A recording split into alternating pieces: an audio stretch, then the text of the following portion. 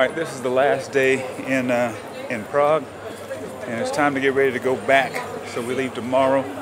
So this is the last time in Old Town. Um, if you want to visit Prague, it's a great place to visit. Um, from an economical standpoint, the dollar is very strong, so it's cheap to visit Prague. But we really enjoyed it. Just had a great meal. Gonna walk around, discover a couple of other things. Maybe go back to the bridge, Charles Bridge, and then we're gonna go back to the hotel. Pastor Deborah can't walk. She's trying to walk, Why? but she drank that stuff. I did not. I Yeah, said you a did. sip.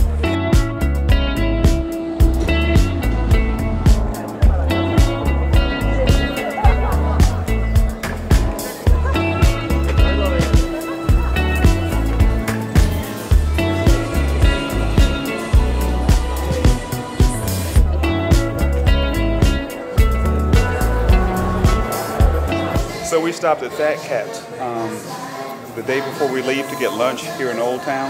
And um, we liked their menu because they had a lot of things like steak and hot dogs and hamburgers. So um, gonna see what Fat Cat has to offer. Oh, and Pastor D found some macaroons. She loves macaroons ever since we went to Paris. And so she found some macaroons to bring back home to the, uh, to the girls. Only thing is, I don't know if they're gonna make it back home. They may make it back home. They may not.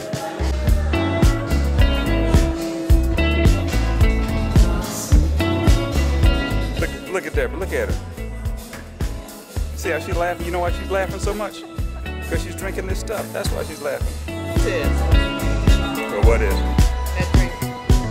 So we are still here at uh, at Fat Cats where we had uh, lunch today in Old Town, and uh, they did a great job with my filet mignon. It's all gone. And uh, but what Deborah and I are trying to do, we're trying to in this elixir that they give you. It's traditional that they give you this after you eat here in Prague. I know it tastes like cloves, and it's some kind of alcohol, and it's supposed to be good for your stomach. But uh, but look at it.